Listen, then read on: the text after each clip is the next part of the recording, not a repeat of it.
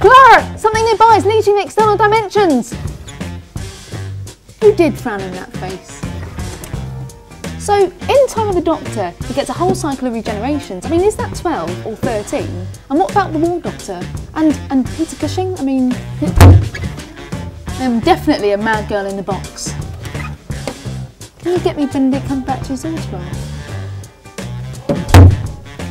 How about David Tennant? Put it below! Look! Want to give it a second in there.